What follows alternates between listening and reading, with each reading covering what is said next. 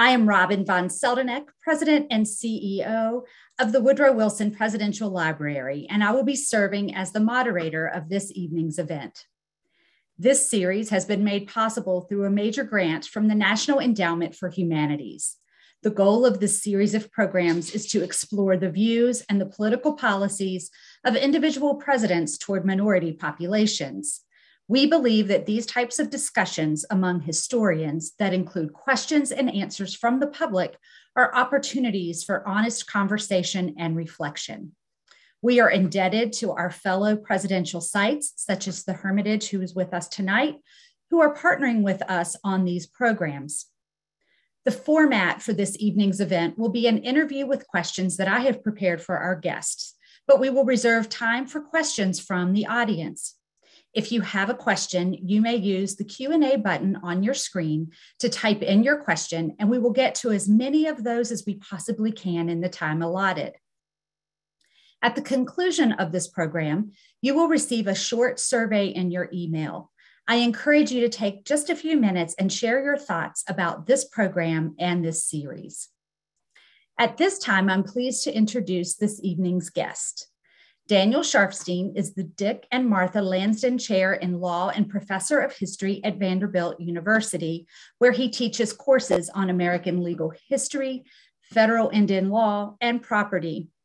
He is the author of Thunder in the Mountains, Chief Joseph Oliver Otis Howard, and the Nez Perce War, and The Invisible Line, A Secret History in Race in America. Erin Adams is the Director of Education at Andrew Jackson's Hermitage, where she oversees the visitor experience, K through 12 learning initiatives, youth development, teacher training, and lifelong learning programs. She has been with the Hermitage since 2013. We are hopeful that our third participant will be able to join us shortly. Catherine Foreman Gray a Cherokee Nation citizen, has been employed as a history and preservation officer for the Cherokee Nation for over 10 years. Catherine serves as a historian on Cherokee Nation's Advisory Committee on History and Culture, and also on the board of directors for the U.S. Marshals Museum as the official representative for the Intertribal Council of Five Civilized Tribes. She has been a speaker at numerous conferences and events where she enjoys presenting on the outlaw and lawman history of the Cherokee Nation in Indian Territory. So I think what I will do is start with you, Erin, um, hoping you might be able to just give us a little background on um, Andrew Jackson. Um, I will tell you, we offered people the opportunity to ask questions when they registered. And um, we had a couple who wanted to know a little bit about Andrew Jackson's upbringing and how did it affect his policy. So this might be a great time to really kind of set the stage for us on who Andrew Jackson was. Wonderful. Well, thank you all for having us tonight. Thank you again to the Wilson Library folks for envisioning this project and getting it kicked off. We're very happy to be a part of that. Uh, as you can imagine, talking about Andrew Jackson, not only his presidency, but his life uh, in the light of racial inequalities is a, is a rather fraught subject uh, sometimes. And just as, as one of our participants asked already, Jackson's views about people of other races uh, really does, really can trace its origins to his earliest upbringings. Uh, Andrew Jackson is uh, rather unique amongst our presidents in that he represents so many firsts and lasts and onlys. one of those firsts is that Jackson is the first of our presidents born to parents who had immigrated directly from Europe to North America.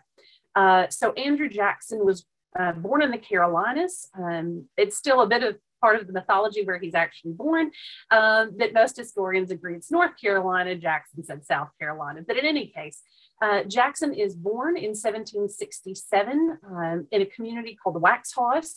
This was a community far beyond uh, the Atlantic you know, seaboard settlements. Uh, this was well out into the frontier, into a mountainous area. Uh, the area was still largely inhabited not only by Scots Irish immigrants, of which Jackson was one, or Jackson's family, uh, was one, but uh, amongst the Waxhaw people of the Carolinas. And so he was growing up on territory that was still very much contested between the, its native population and these settlers who were flooding into this area. Jackson, though, never owns enslaved people until his adulthood years. His family growing up did not own um, folks of African descent in bondage. Um, he lived in uh, for a time in Charleston, South Carolina, but does not appear to have owned people at that point. And so that for Jackson, the ownership of human beings is really going to be a reflection of his adult life and more than that, it's going to be a reflection of Jackson's ambitions for himself and how he wants to go about securing his goals for the future. Uh, and so Jackson um, is quick to out the. Jackson practices the law. That is what gets him to Tennessee in 1788. So he's not from Nashville. Uh, when he comes, he decides pretty quickly that the practice of the law um, is important for growing his kind of social uh, profile um, men on the early frontier that were lawyers were considered the leaders of the community. These were the men that were, you know, so important in getting those early principles and laws of the nation established within communities across the nation. So Jackson is already gaining a lot of that influential piece. He marries into the most important family in Nashville, the Donelson family, who was the founder of uh, Nashville. He is going to serve as Tennessee's first congressman in 1796 when we achieved statehood from uh, separating from North Carolina. He's on the state constitutional committee. Jackson is on the Tennessee Supreme Court. He's an, a Freemason and helps to establish the Masonic Lodge here. So he is going to gain all of those influential roles and pieces, and certainly his military experience in the Tennessee militia, in the Creek War, and in the War of 1812 at New Orleans is going to just be the cherry on that particular sundae. But Jackson's, the other two pieces of Jackson's personal road to advancement lies in the ownership of land and in the ownership of people. And where I would have thought Jackson started with the ownership of land, which was cheap and abundant here in Nashville, he starts instead with enslaved workers. Uh, and he begins to make investments into enslaved people who possess tremendous skill sets, blacksmiths, for example. Um, and Jackson is using the income from their services to become his first source of cash flow. So as Jackson begins to gain um, in influence in the community, it is very much dependent on his own involvement in the slave system. Uh, but as he moves into the presidency, we're going to see an absence of conversation in the presidency related to the laws around enslavement, um, social practices around enslavement. It's almost a non issue in Jackson's presidency.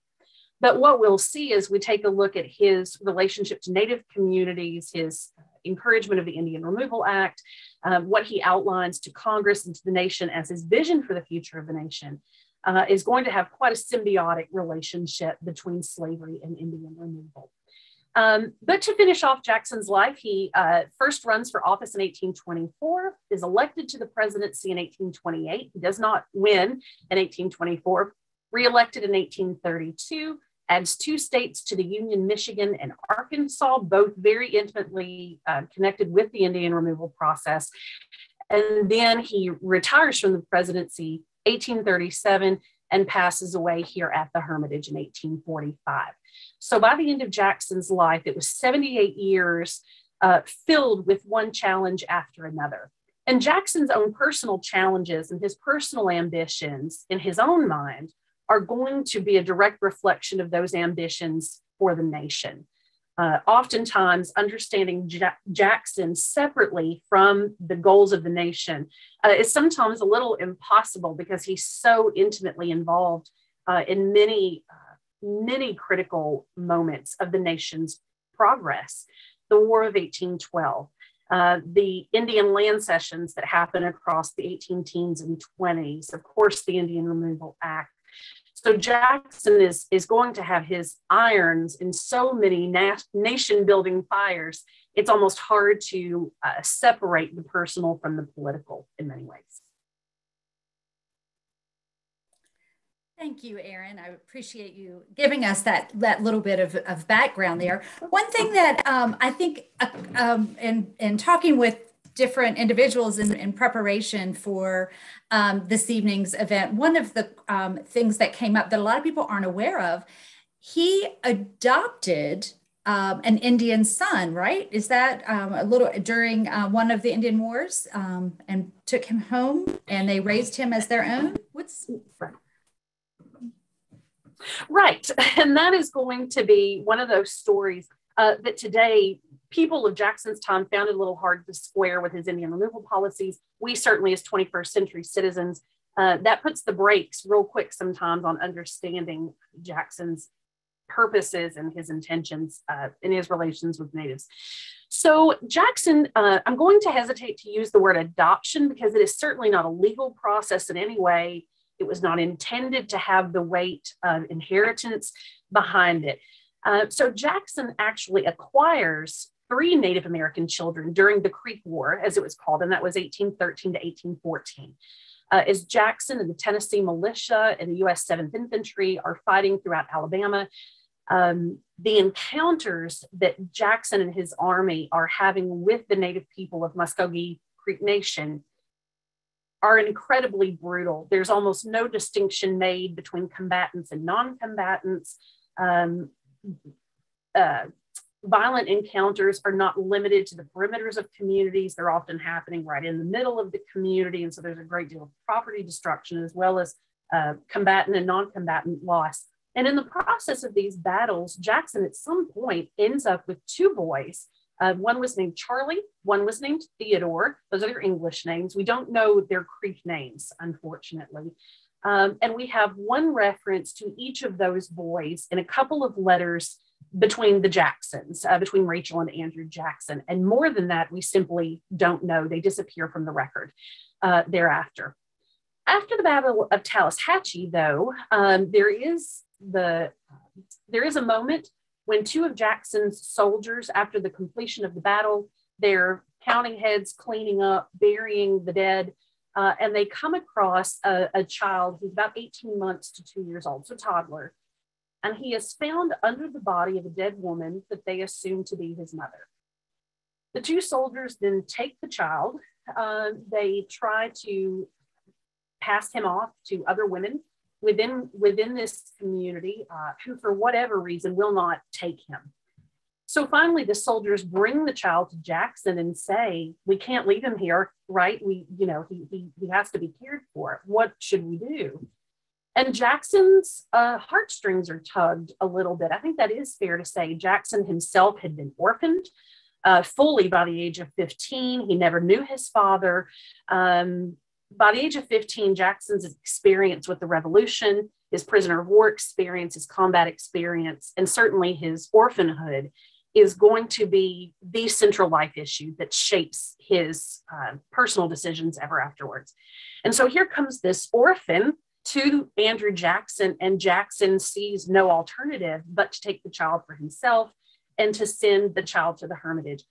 He sends a letter along with Lincoya, as the child be- becomes known, uh, explaining to Rachel Jackson, his wife, that the intention of Lincoya is to become a companion to their son, Andrew Jackson Jr. So it, it seems to be uh, clear from the records that exist that Jackson does not intend to enslave Lincoya. Lincoya is not intended to be assigned work on the farm or in some of other Jackson's other economic endeavors, but he is to be raised in the home. He is to be tutored alongside Andrew Jr., and he's simply to be raised as Junior's companion. Um, that has mixed results, uh, but the child's name is Lincoya, which I am told, and, and, and I'm told by people with uh, Creek language ability, that the word Lincoya is not a name within the Muskogee language, but rather it is a, it is a title, it is a noun, and it means orphan. Uh, and so I think about what that means for Lincoya himself growing up.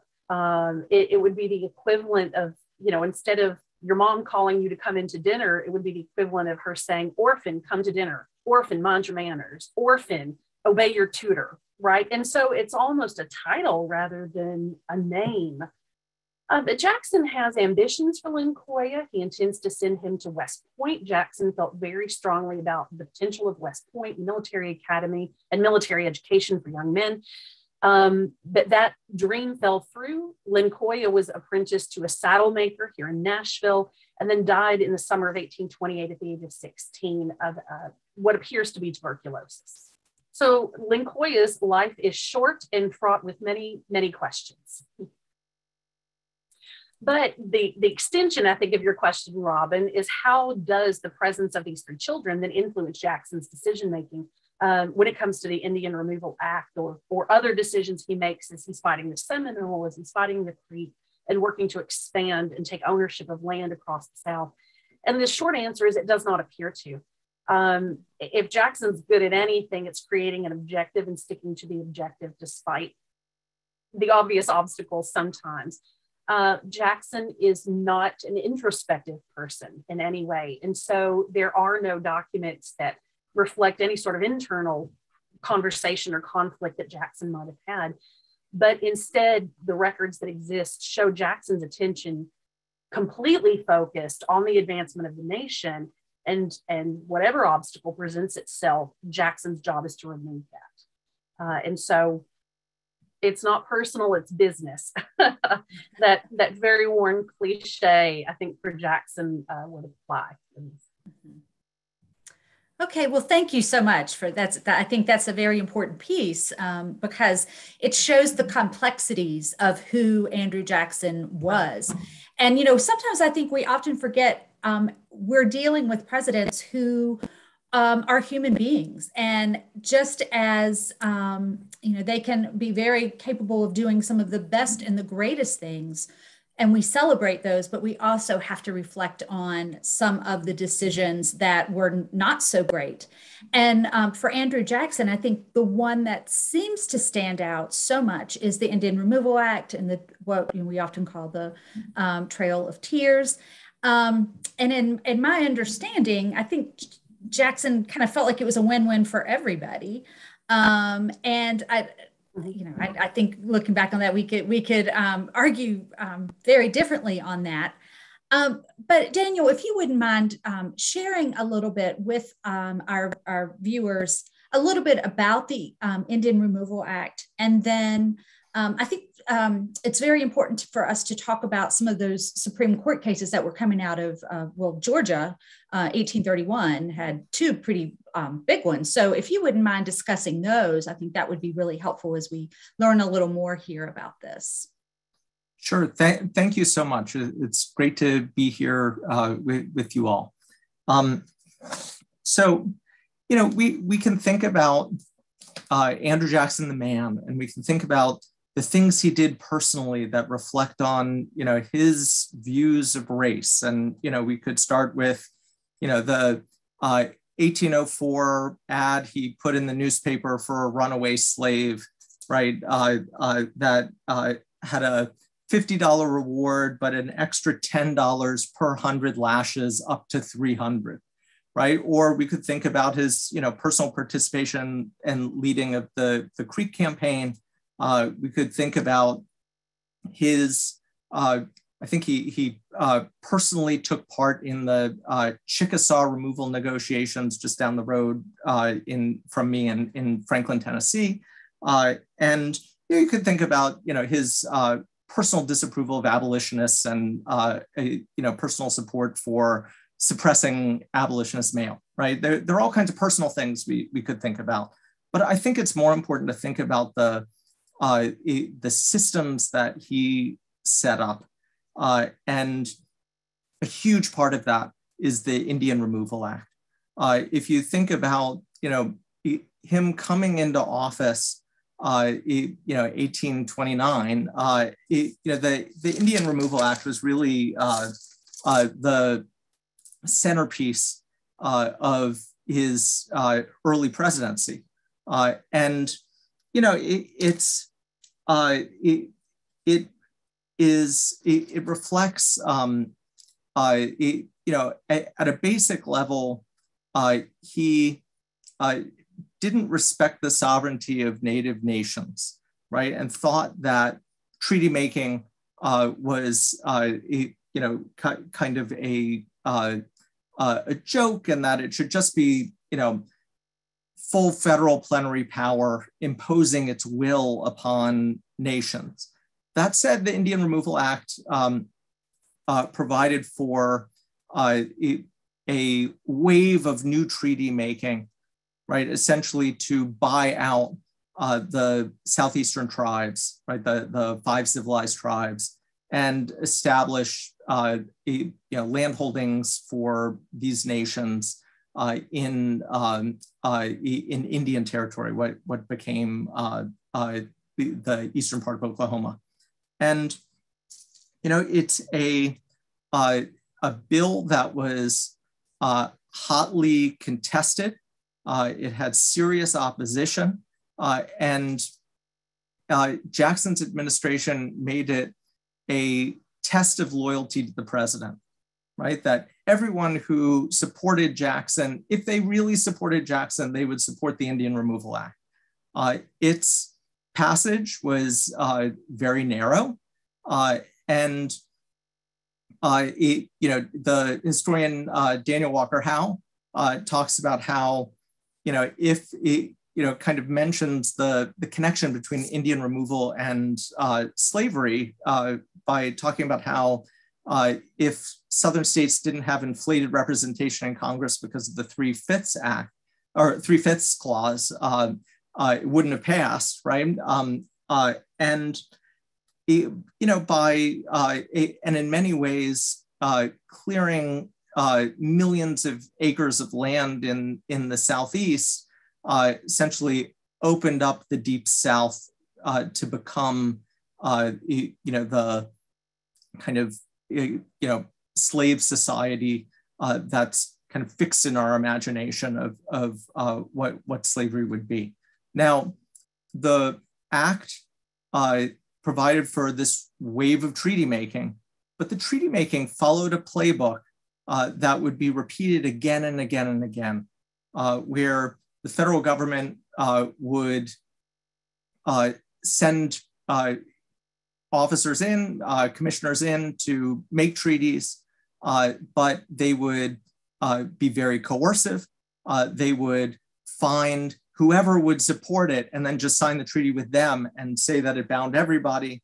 Uh, at the same time, the, the southern states were just itching to take this land right? And again, the, the connection to slavery was really clear, right? There, I, you know, uh, Daniel Walker Howe quotes a, uh, uh, or quotes uh, Joel Chandler Harris quoting uh, a Georgia song about how, you know, all I want is a big plantation up in Cherokee Nation, right? And uh, southern states were doing everything they could, including, you know, people just invading the tribal boundaries and, you know, marauding.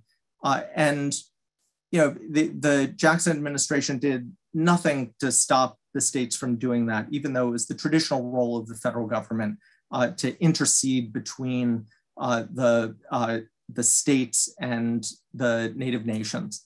Um, the uh, Jackson announced that he would not enforce the uh, the uh, what were known as the non-intercourse acts, which essentially established you know federal that, that the federal government would be uh, the governmental entity uh, uh, interacting uh, and, ex and uh, exercising any kind of jurisdiction over Indian country alongside the native nations and not the states. so Jackson stood back and kind of let the states do their thing. And between that and the coercive measures of his administration, um, there were uh, you know, a, a series of treaties that that uh, led to, you know, several trails of tears, right? It, it's, uh, uh, you know, there's a, a, Choctaw Trail of Tears, the Cherokee Trail of Tears is, is uh, the Chickasaw Trail of Tears. Uh, there are all these different trails of tears. And, uh, you know, the, there are these systems of uh, partisan division uh, that, that he kind of sort of set up uh, there are systems of um, uh, kind of setting up the you know his party as you know essentially the the white man's party, uh, which which becomes very important, uh, really you know for it you know a century plus afterwards. Uh, maybe still important, although in, in different ways today. Um, and you know, and setting up you know a uh, uh, you know a series of conquests, right? Even if it's just conquests uh, on paper, uh, but not always on paper, uh, that you see just sweeping the continent as as the border between Indian country and and the U.S. moves westward. Um, well, you know, at this point, I do want to I do want to talk about one piece, and this was a question that I had reserved for Catherine, um, and that is to talk a little bit. Um, um and I don't know if, if one of you want to take the lead on this, in what the Cherokee Nation was like in the 1820s. Um, you know, I, I know under um, John Quincy Adams, there was a great deal of diplomacy, and I believe this is the time where they have their they they come up with their written language and a constitution and how all of that came into play um, especially um, with um, their chief john ross. Um, so would one of you be or, or both of you be comfortable talking a little bit about what the cherokee nation was was like um, especially going right into um, just prior to jackson's presidency I don't mind starting, Robin. Um, I did have, I'm so glad um, Dan mentioned um, all these different land treaty negotiations that Jackson was involved in. I pulled up two maps that I wanted to share with our audience, uh, but I don't want to get too far afield of our question either. So I can wait if you want me to, or I can go ahead and jump into the question now. I think it would be great. Go ahead and if you wouldn't mind, just show that right okay. now because I yeah. think that visual right. will be just very helpful. What, Awesome. Well, that's just fresh in our minds. So let me share a couple of things. One, uh, I want to share a map of Florida by 1823. Um, the map that we're, can everybody see? It should just be a, a, map of Florida territory right here in front of us. Uh, this is not intended, this is not a map of the Treaty of Moultrie Creek specifically, but just given the color coding on it. Uh, this is a, a, map connected to a much later period, but what it, you currently see that's in the pink um, was what Jackson was able to wrest away from the Seminole Nation in 1823. The green area that you see just right there concentrated in the middle of the peninsula, right where like Orlando would be, and all the way down as far as Lake Okeechobee, that was all retained as Seminole territory. And then the Everglades are below that. So that is the map of Florida. But there is also um, a map that I wanted to share of um, those other Indian land cessions. And you'll have to forgive me because I took a, an iPhone photo of a page from Robert Remini's biography. Just it was the best I could kind of get to at the moment. Oh, see. I'm sorry, let me stop sharing for just a second and I will get that to come back up and that will uh, help us. But while I'm hunting for that, um, well, let me try it again. While I'm hunting for that, though, just to sort of break into the question that you just posed, uh, and again, I think these these images help kind of lead us into that. By the 1820s, you know, uh, the, assimilation, if you will, of of the native uh, population to um, amongst most of the nations, right? Not just the Cherokee, but amongst most nations from the southeastern United States, that assimilation process had happened. It had been happening since the 17th century. So it's not, this is not a new effort, right? That the, that the United States is trying to, to force natives to accomplish. Uh, so by 1820, the Cherokee Nation, for example, has uh, a bicameral legislature. They have a national council. They have a Supreme Court. They have a constitution that is modeled on the United States Constitution. So in many ways, the Cherokee and the Creek and others are, are trying to demonstrate. You've been saying ever since George Washington that, that the policy is the assimilation of Native peoples. We've assimilated. we've we've structured our our, our nation's governments. Um, there are many slaveholders in Cherokee territory. Chickasaw owned slaves as well, and others. Um, we're doing everything that the neighbors around us are doing, and it's it's the proverbial, you know, um, carrot and stick, right? You, you you know, you go to reach for the carrot, and then the person holding the stick pulls it back just a little further from you, Like, Um, so the, the map that I've pulled up here, these are land cessions that were all negotiated by Jackson directly between 1814, which is the end of uh, the Creek War, uh, before the battle at New Orleans in 1815 through 1820. So this is a companion map to the one of Florida we just looked at. So when you look at this, look at how much of the state of Alabama, especially, uh, is the direct result of Jackson's um, fight with the Creek. I mean, this is the result of the Creek War, the Treaty of Fort Jackson, which ceded about 22, 23 million acres of land to the United States. That's a tremendous amount of the state of Alabama, as well as pockets of Georgia. Um, those Chickasaw cessions are going to open up the entirety of what today is West Tennessee, Western Kentucky, and then you see um, these cessions with the, Treaty of Doak Stand in Choctaw Nation, the Cherokee cessions um, that are already happening, even though, and I'll, um, I'm going to annotate it just very quickly. But in blue, I'm going to just quickly mark out what roughly, at least at that point, was still sovereign Cherokee territory, right? Which is here. And look how much of this is already getting ceded to the United States at this point.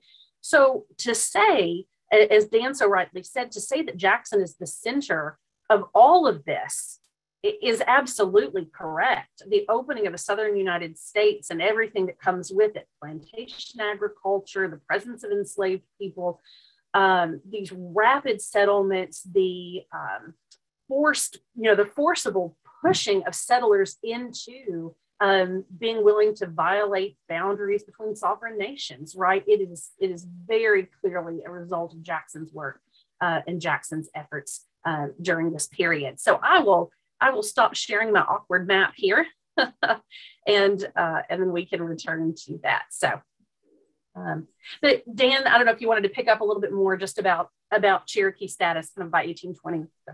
Yeah, sure. So you know, there it's a society, an agricultural society with uh, a constitution, a written language, uh, it, you know, quite prosperous, and uh, among other things, uh, they were very sophisticated legal actors.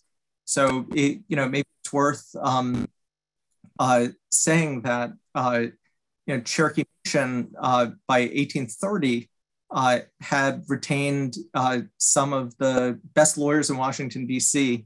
Uh, to uh, you know bring suit against the state of Georgia, which was uh, you know trying to extend its jurisdiction over uh, Cherokee country, and it, you know the Cherokee Nation versus Georgia, and then it, you know Worcester versus Georgia are you know two very important decisions decided by uh, the Supreme Court at that moment. Um, and uh, it, you know, to to a certain degree, um, uh, it, you know, Jackson, even though it, it's a uh, it, you know a, a, Supreme Court decision, it's not the presidency. Uh, it's uh, these are conflicts. One is Cherokee Nation versus the state of Georgia. The other is um, uh, missionaries uh, who are outside of non-Cherokee missionaries who are mm-hmm. by the state of Georgia and it, for for being in Cherokee country. Um, uh, even though the presidency seems to be not a party there, uh, Andrew Jackson really inserted himself into both of those conflicts. Right in in some ways, um, it, you know the the uh, kinds of actions he was taking uh, with respect to uh, not other tribes besides the Cherokee at the same time as Cherokee Nation versus Georgia, I think really intimidated the court uh, and uh, it, you know made the court worry that you know if there were a decision that robustly defended the uh, you know, the, the Cherokee's treaty rights that it, Jackson just wouldn't enforce them uh, and it would uh, kind of undermine the, the legitimacy of the court as an institution, right? So, you know, Jackson kind of put those institutional concerns, made it a constitutional crisis, uh, and courts, you know, behave in, in kind of prudential, risk-averse ways during those kinds of crises. Uh, and then, uh, it, you know, Worcester versus Georgia, uh, when John Marshall actually writes, uh, you know, very ringingly and courageously in support of uh, Cherokee sovereignty, essentially adopting uh, uh, the, um, I, I guess, adopting one of the, um, a, I think one of the dissents in Cherokee Nation versus Georgia. Um, you know, Jackson, um, you know, there, there's no real uh, celebration in Cherokee country because you know the next five years are just agony uh, as Georgia continues to uh, you know squeeze Cherokee Nation and and uh, try and usurp land and infringe on their their treaty rights. And Jackson just uh, kind of you know lets it happen. It's not just inaction or incapacity. You know, it's kind of a willful decision uh, to, to let the Cherokees twist in the wind and then, uh, you know, try and eh, find someone eventually uh, who, who would uh, kind of crack and uh, agree to removal that then they would try and bind everyone else. And, and you know, that's what, what John Ross wound up doing. Thank you so much. I appreciate both of you um, sharing that little bit of information that really kind of completes the, the whole picture of what's happening there. So thank you. Um, I um, am noticing the time and I do want to encourage anyone, if they have any questions, please go ahead and um, type those in and we will be um, happy to get to those. Um, I am going to put you on the spot though, Erin, because, and we've talked about this because this is something that we talk about is with presidential sites is how we as a presidential site deal with these complicated histories of the human beings that um, that we are here to educate on. And um, one of the things that I that I often say is historians, it's our it's our job to be objective, to share the information, to show the primary documents where the where we gain that information but some of the subjects that we deal with have so much emotion tied to those and they're so emotional and rightfully so. Um, and there's something about the human brain that we really struggle with understanding that one person can be capable of such great things. Um, you know look at the you know what andrew jackson did to um, really expand democracy right and how we see it today. But on the other hand we look at some of these horrible policies. And so, my question to you from one presidential site to another how do you talk about his legacy with your visitors? Sure. Um, and there are so many layers to that question, just in terms of the way the Hermitage has done it.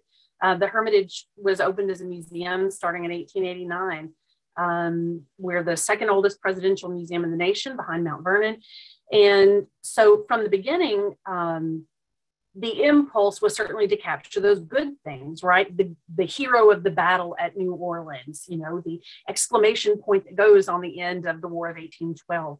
Um, westward expansion, right? Manifest destiny. We're, you know, we're moving forward, right? Look at how the nation is progressing. Um, look at how universal or white male suffrage at least is expanding under Jackson's time. He pays off the national debt, right? So it became the focus of our organization to stick with those high points. Um, you know, he beats off the first nullification, or first secession threat rather, right? So he's able to he's able to do these incredible things, and so there was so much good to talk about. Uh, and then when you layer that against just historic houses and just the desire to talk about the teacups and the furniture and the dresses and you know the, the babies in the nursery, um, you know that filled up a visitor's time. Uh, so it wasn't until the 1980s that the Hermitage began to include K 12 education programs that both look at slavery and at Indian removal. Um, and so that has taken, even those programs have evolved certainly over time. But with those programs, Uh, it has always been an intention of one trying to put names on faces. So it in um, so taking what is a very large and very cumbersome subject, such as Indian removal, and trying to bring it down here where the visitor can can absorb it in a 45 minute program, a, a 20 minute house tour, you know, um, take some doing, right? And take some time to, to kind of polish all of those wheels. Um, we mentioned in our discussion the other day, I often think, I often worry about the 10 year old who's hearing this for the first time. Um, you know, who uh, fourth grade has got to be a pretty depressing school year because that's usually their first slavery content as well as their first Indian removal content in US history. And the questions that a fourth grader brings to the issue, frankly, they're just saying what the rest of us are thinking too, which is that I thought the president's job was to do good things for people. I thought the president's job was to protect the people. Uh, and then when they look at, um, you know, the U.S. Army and its involvement in Indian removal, I thought soldiers were those people who protect our freedoms. And so it really is for people, whether they're 10 or whether they're 90, it can often call up questions about some of those very intimate um, foundational concepts we have of our nation and our place in it. So we try to uh, address those through conversation, through exhibition content, audio tour content. Um, but in all cases, what we have committed to as an organization is, is to be a part of the conversation and just to acknowledge from the beginning, right? This is this is a fact. This happened. Um, uh, I don't work for Andrew Jackson. I work for the Andrew Jackson Foundation, just as you don't work for Woodrow Wilson, right? And so we have to be free of any of that sort of sense of um, obligation in some way to the president himself so that we can address some of these very issues. So it takes a lot of forms depending on the audience. Um, the way I often, the analogy that I often use, and Dan, you can just close your ears for a second, Dan but I often describe this to kids as saying it's like I'm a lawyer, right? And my job is strictly to provide the jury with the and the judge with the information that they need to make a decision, right? And then the decision, what you do with that information, how you apply it in your life, how do you make it part of the way you see the world, uh, is very intimate and very personal process, and that needs to be in your hands. So, not a perfect analogy, but it works pretty well for a fifth grader. Thank you so much. I, think that's uh, that. I think that's a great analogy. Um, you know, it's part of what we do is we give the information and then we encourage people to go out and and make their own opinion and and to study and to further research. Um, I think um, if we don't talk about those things, and we, you know, I, I hate to see that sometimes in our our society and our culture, we just automatically shut down and don't want to hear anything about someone that we disagree with or we think we know everything about him because we've heard one piece and that that does none of us any good. Um, so i have some great questions that are coming in and i'm going to skip around a little bit here. Um, one is um, from my friend nancy in florida and um, her question is what ultimately happens with the Indian lands when they moved? Who got the Indian lands? Was this a popular decision at the time after the after the um, Indians had been forcibly removed? Great question. I, I can uh, give a brief answer and then Erin can, uh, you know, uh, elaborate because it probably needs elaboration. I mean, my, my sense is, uh, you know, if you think about uh, the uh, opening of the Deep South, uh, you know, there were, uh, it, it, was a, uh, a, feeding frenzy, you know, in um, lots of parts of Mississippi, for example, you know, the Choctaws, for example, had um, were some of them were given allotments and could stay in Mississippi and didn't have to move.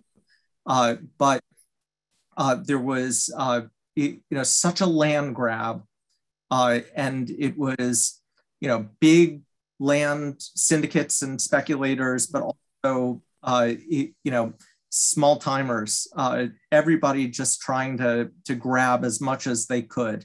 And there was a tremendous amount of um, fraud and coercion to you, know get the land that uh, Choctaws had actually been allotted, but then the land that had you, you know people had been forcibly removed from was was you know even um, you know more uh, of an open season. Mm-hmm. Mm-hmm. I, I, would agree with that. And just to expand a little bit, um, you know, there are ads in newspapers all over the nation, not just in Georgia or not just in Tennessee or not just in Mississippi, but they're they're advertised far and wide, and it's advertising land lotteries. Um, some of the headlines that you often see on those ads say things like um, "Seek the riches of Indians," um, "Indian land for you," you know, and it's it's really um, pitched as an enticement, right? Like the, you know, there's all this richness to be gained, and all you have to do is reach out for it. So today, they're the kind of um, situations that I would hope at least would never hold up in a court of law because these are people who have no title whatsoever to the land that they are selling. And so it's it's as Dan said, it's, it's fraudulent from start to finish um, you know, those those lottery agents and, and speculators and so forth have no legal title to what they're doing and just running roughshod over the, the title rights of others in a way that today would be deeply un, you know, deeply unacceptable. Um, in, in the court of law, you wouldn't stand for it. I wouldn't stand for it, right? And we'd have lawyers who back us up and so forth. Um, but in addition to, to the, the theft of the land itself, then what they're doing to the land um, whether they have acquired, you know, whether they've purchased it and driven off natives at that point, they're also creating a, a profound environmental catastrophe as well. Um, thinking about what's happening in Cherokee Nation as gold is discovered around the town of Dahlonega. I mean, it is it is driving off wildlife. It leads to overfishing. The process of mining and panning for gold is choking out rivers and waterways. Uh, and it is just, it's an ecological disaster in addition to a legal disaster and humanitarian disaster. So it is, it is about as bad, I think, as you can, uh, in, in, in any direction as you can imagine it is. Catherine, we're glad you were able to join us. No worries at all. No worries at all. So uh, we have been having home and ready at 6:30 and like ready to go. And then I logged in and saw the email from Andrew, and he's like, "Are you having trouble?" And I'm like, "No, I'm like 15 minutes going in, and uh, I'm so frustrated. I'm so mad." No worries. We we uh, um, have a, a, Catherine is in Oklahoma, and so we have a time change that that we're dealing with here. So um, we have come, just to kind of get you up to speed a little bit. We've talked a little bit about Andrew Jackson's life. We've talked about the Indian Removal Act, some of the law cases around that.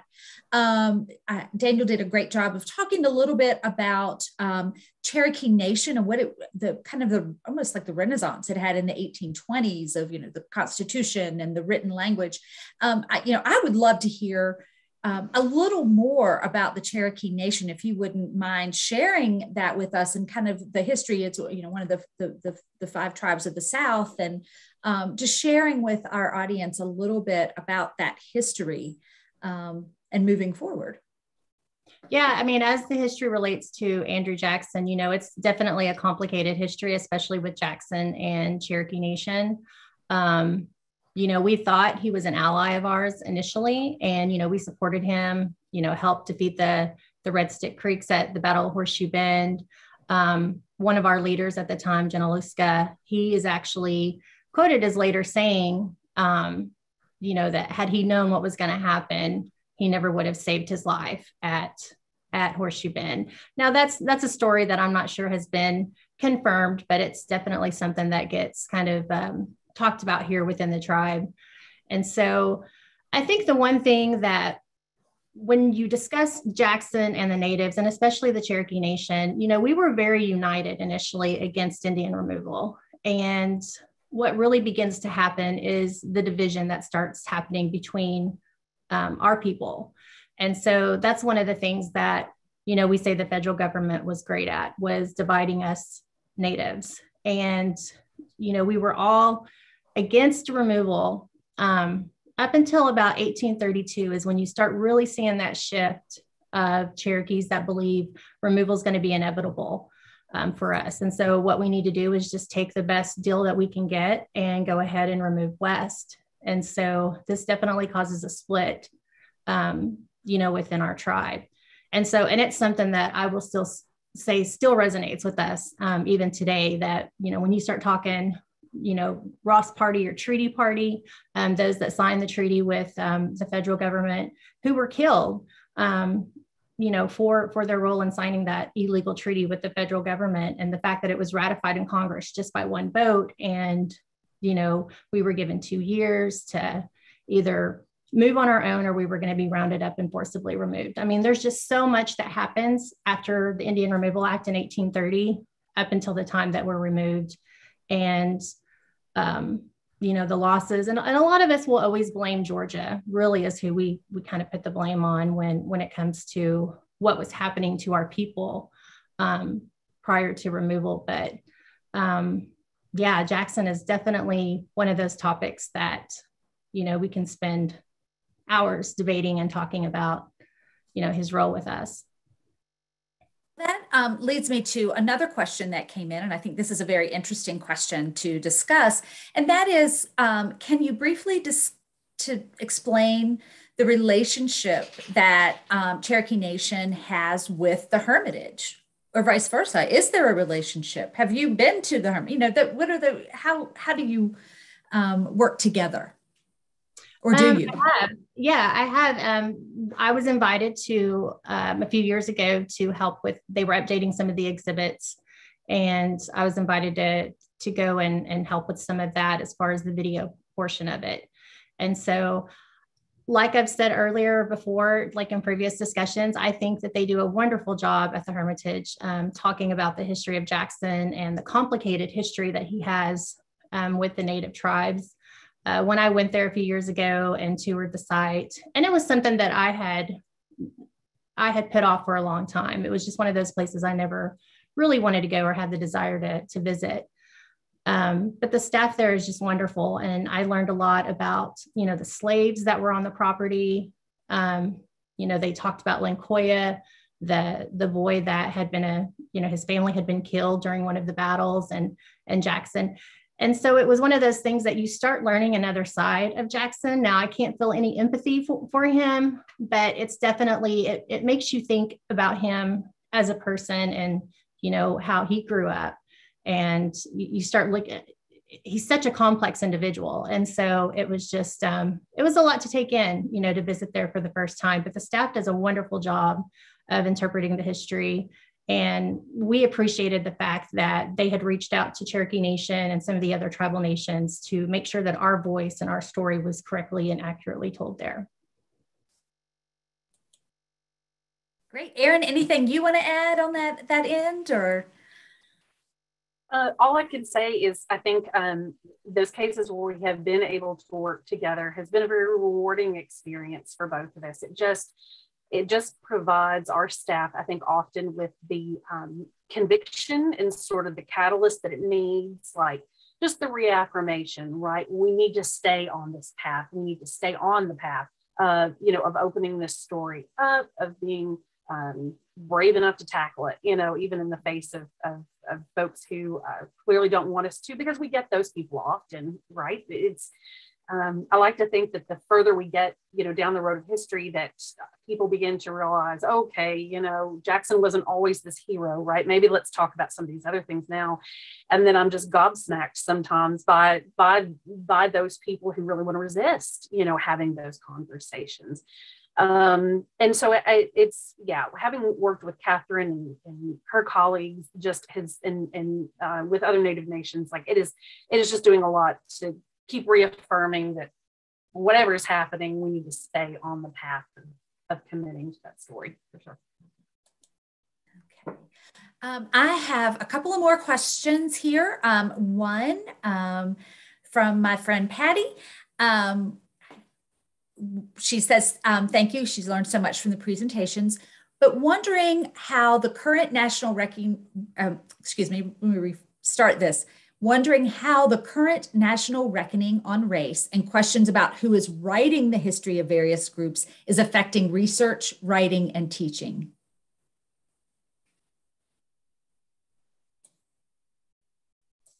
Well, I guess I'll start. um, one of the things that you know this is this is being brought up a lot nowadays but it's one of those things that i feel like as historians a lot of us have been telling this history for for years for decades. And we've been you know my background is with interpretation and um you know just making sure that all sides of the story are presented um, when it comes to individuals or events in our history. You know whether you love or hate somebody or you know the the have a varying opinion on on different aspects of um, of events. Um, I think it's our obligation and responsibility as historians to just make sure that we put all the facts out there for people and allow them to make their own decision on how they feel about you know certain people and events. And it's something that you know they do a great job of that at the Hermitage. I mean, I heard more about the slaves and um, you know the the natives then i think more people i think a lot of people didn't realize that you know that that was a huge part of the the story there at the hermitage and that it's something that they don't shy away from it. I mean warts and all um, you know and to me that makes for a much more interesting and fascinating story when when you include all all aspects of it good and bad.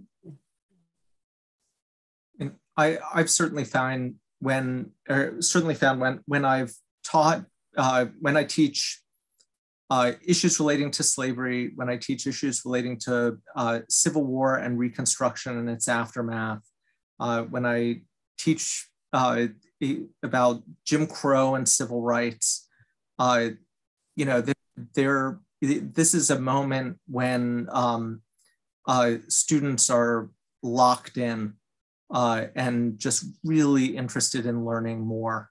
and I think uh, when I first started teaching uh, 15 years ago, uh, it, you know, maybe it was a little more of a sell for that you had to do for, you know, why this is relevant to, to people's uh, lives, to their legal educations.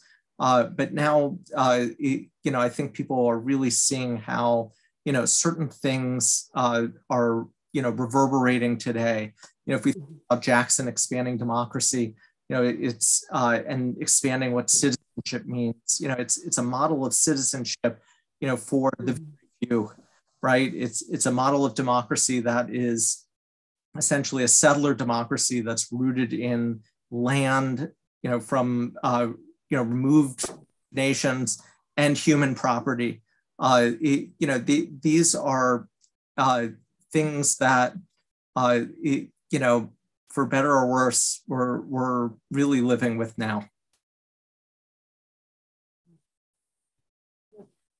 I, I would agree. And just to, to add to that and, and kind of go with me here for a second, because I want to try to link just a couple of things that, you know, when Jackson is is first communicating his views to Congress, to the nation about as president, how does he view, you know, the future of, of Native peoples within the United States? It's all couched in this language of the decision he's advocating for, the steps he's advocating for, it's not just because it's what he wants to do, it's because this path, in this case, Indian removal, that the path of Indian removal reflects the character of the nation. And it is, and it, and it, and, it, and you know, a, a true citizen, a good citizen who cares about the future of the United States is going to see, is going to take Jackson's perspective on things, right? And people of Jackson's time certainly, you know, resisted that, even though it passes. There are many strong voices of resistance. Uh, for example, Catharine Beecher, right? It's it's the first example of women's mass activism in the United States, and it's against Indian removal, not against abolition of the emancipation of slaves. Um, so when we look at that today, right? Because you know, who are we as Americans today? Does what Jackson was advocating for in the 1830s does that still apply to the character of the United States today, in which we are agents and we are complicit and we have the rights to, you know, speak up and to reach out to our elected officials and to try to shape the course of the nation? does does Jackson all of this idea that somehow Indian removal reflects the character of the United States? Indian Removal Act is still law in the United States today, and all of its aftermath is still law in the United States today. So does that reflect us? Is that the character of the nation today? And so then I think when people begin to see it that way, it you got to grapple with it, right? People of our time have to grapple with it. That's that's it. You just have to. Well, I, th- I think um, you hit on some some some very important points here, and um, our work as historians and as Americans, and as we understand and learn, um, there is so much to our history, and um, I want to, I, you know, I I, I, wish there was just this easy answer on how you deal with all of these issues, and there's not. But I think one of the keys is, is having these discussions where we can talk about it. Um, and I want to thank the three of you so much for participating in this this evening. Um, Dan, it was interesting. I had a question that came through for you, and you answered it exactly. I didn't even ask, and it was talking about what do students today, basically, what you know, what are what are their notions coming in, and and you um, answered that. So thank you. Um, I do want to say that this program series will continue next month as well.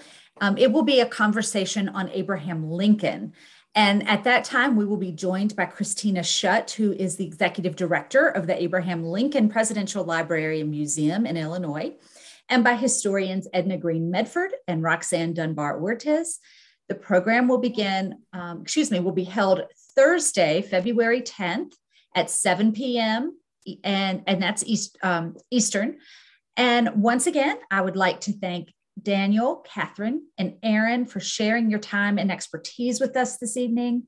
I want to thank all of you who tuned in. Um, want to really thank you for attending um, this, this session. Uh, I encourage everyone to take a few minutes and fill out the survey that we'll be sending you. We look forward to seeing you next month. And on behalf of all of us at the Woodrow Wilson Presidential Library, we wish you a wonderful evening. Thank you.